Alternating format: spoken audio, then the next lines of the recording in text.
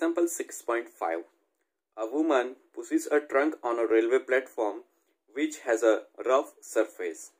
She applies a force of 100 Newton over a distance of 10 meter. Thereafter, she gets progressively tired and her applied force reduces linearly with distance to 50 Newton. The total distance through which the trunk has been moved is 20 meter.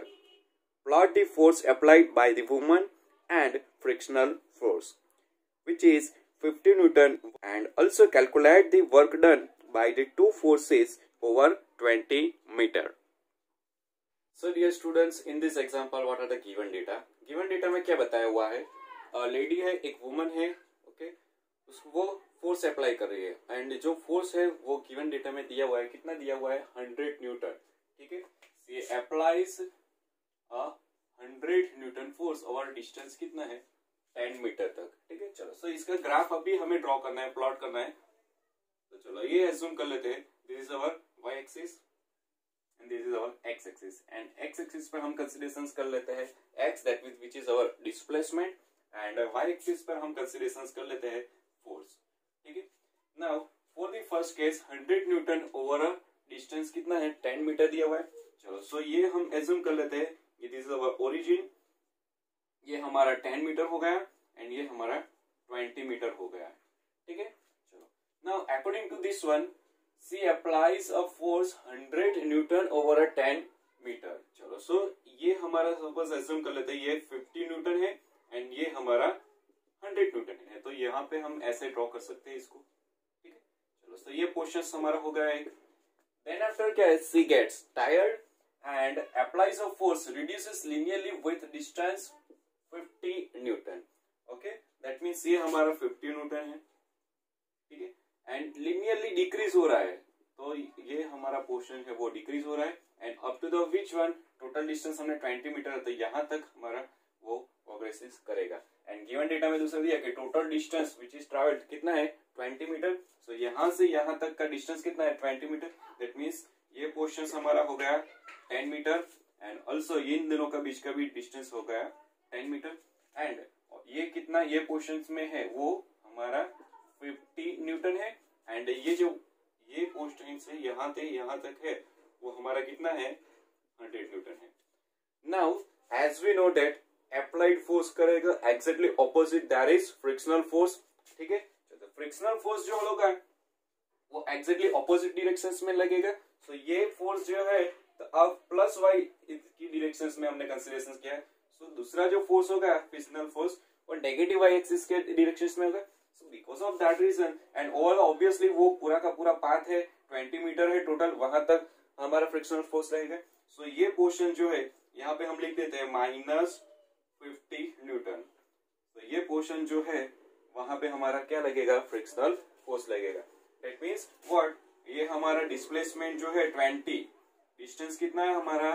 Total twenty metre है and वहाँ पे कितना force लगा है? Minus fifty Newton force लग रहा है and that force which is our frictional force लिख देते हैं ये, यहाँ पे. फ्रिक्शनल फोर्स ठीक है? चलो. Now we have to find out the work done by this applied force क्या? Now we have to find out work done by applied force चलो तो work done by the applied force को हम define कर सकते हैं W capital F is equal to what now using the figure we have to find out this W F work done by the applied force applied force कौन कौन सा है? Hundred newton है as well as fifty newton है। यानी कि ये portion हमें दिख रहा है इसका नाम लिख देते हैं हम A B C D E portions G then ये H and this is our ये पॉइंट है, उसको हम आई कंसिडरेशन कर लेते हैं। एंड ये जो है हमारा ओरिजिन भी बोल सकते हैं otherwise we can consider as a so wf that means what? Wf which is is equal to what? Area of rectangle a, b, c, d क्या? Work done wf applied force कौन सा है हमारा? Capital F जो है हमारा। एक क्या है? एक हंड्रेड न्यूटन भी है एंड दूसरा कितना है? फिफ्टी न्यूटन भी है ओके ये दोनों फोर्स की वजह से हमारा वर्क डन जो हो रहा है, वो हमें फाइंड आउट करना है। So one ton is equal to word A B C D का area that means area of rectangle कौन सा रेक्टेंगल है हमारा? A B C D A B C D plus ये पोर्शन जो लिख रहा है which is consider as a word which is our trapezium चलो सो वो लिख देते हैं। एरिया ऑफ़ ट्रेपेजियम ट्रेपेजियम कौन सा है सी ई जी डी सी ई जी डी ठीक है इसको अभी हम रफ कर लेते हैं So now we have to write the area of the ABCD as well as the area of the trapezium CEGD. Okay. So area of the rectangle, rectangle ABCD के बारे में तो हमें पता ही है length multiplication of breadth so length and breadth की बात करें तो ये हमारा 100 न्यूटन है तो ये 100 मल्टीप्लीकेशन ऑफ़ कितना है? टेन मीटर है तो वो हम लिख देते हैं। तो ये तो हो गया हमारा area of the ABCD plus area of the trapezium area of the trapezium that mean CEGD so हमें क्या करना रहेगा? वन डिवाइड बाई टू दोनों जो साइड है, यानी कि सी डी एंड ईजी उन दोनों का एडिशन करना है। That means hundred plus fifty hundred plus fifty ठीक है? मल्टीप्लीकेशन ऑफ़ इन दोनों का बीच का डिस्टेंस कितना है? टेन मीटर वी ऑलरेडी हमने डिफाइन किया हुआ है टेन मीटर सो यहाँ पे मल्टीप्लीकेशन क्या हो जाएगा? Ten so there four one thousand plus one divide by two 150 multiplication of 10 चलो सो यहाँ पे फाइव मल्टीप्लीकेशन टू तो ये टू टू कैंसल आउट हो जाएगा।